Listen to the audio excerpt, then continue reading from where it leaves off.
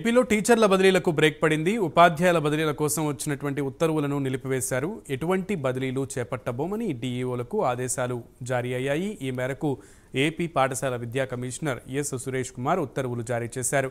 ఎన్నికలకు ముందు పద్నాలుగు వందల మంది టీచర్లు బదిలీలు జరిగాయి.